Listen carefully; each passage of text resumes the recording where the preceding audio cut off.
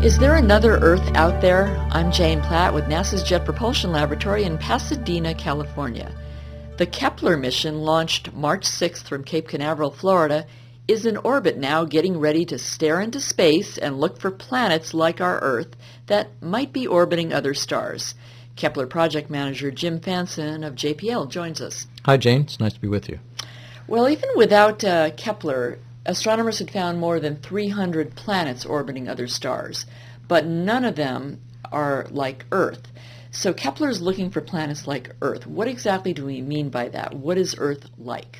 Uh, what we mean by an Earth-like planet is to find a planet that's about the size of the Earth and that orbits its star at Earth-like distances. It orbits a star like our Sun at Earth-like distances. And that means that it orbits at a distance from the star where the temperature of the planet is not too hot and not too cold, but is just right for the presence of liquid water on the surface, where you can have oceans, uh, you can have uh, uh, liquid water in which to have biochemistry, which we believe underlies all forms of life that we understand.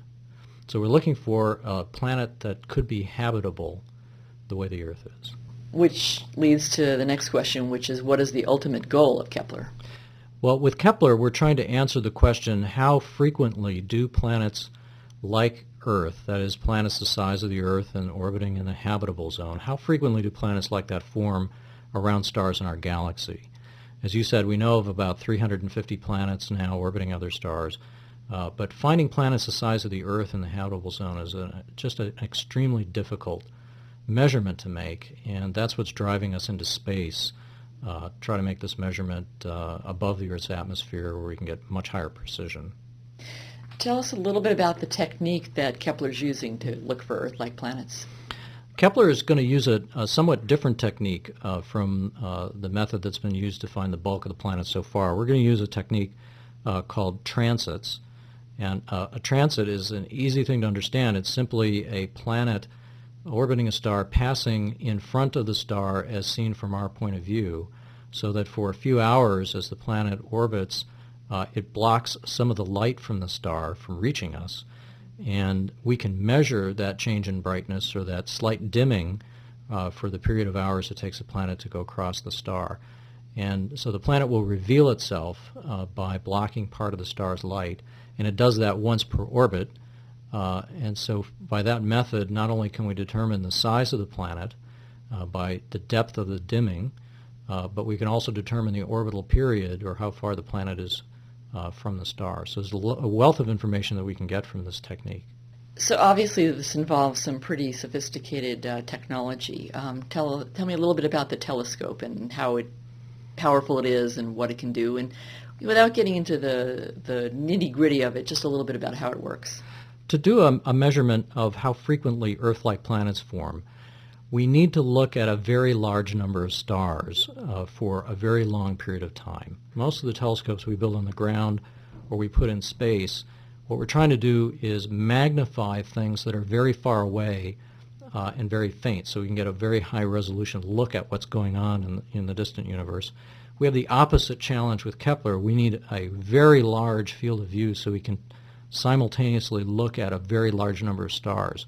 So we've built a special kind of telescope called a Schmidt telescope, and the field of view is equal on the sky to two dips from the Big Dipper. So it's a, a, a hundred square degrees of sky.